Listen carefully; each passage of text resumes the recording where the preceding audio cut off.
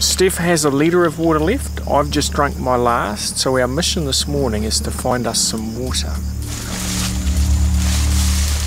We're only about 100 metres from the edge of the jungle now. I've used up every last piece of energy I had. Eventually, I can't lead anymore.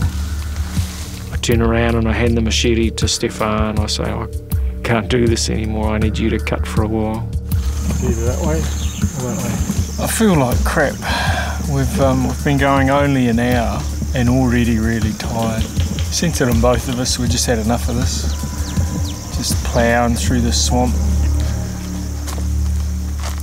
The debilitating effects of dehydration are beginning to set in.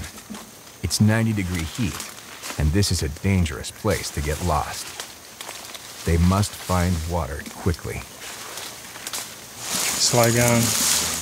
I've used up all of my water, and then it's all I can think about is water. Uh, it starts to play on my mind. I was spent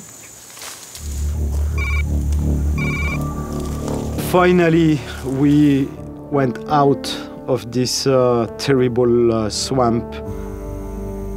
Pete was running out of water since hours, and it was this, uh, it was this canal.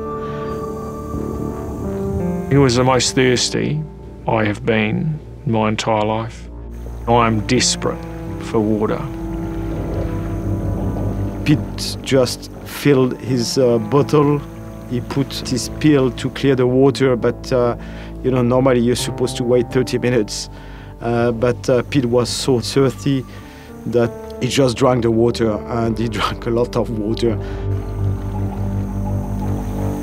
Doesn't that look amazing? I didn't care that that water was brown.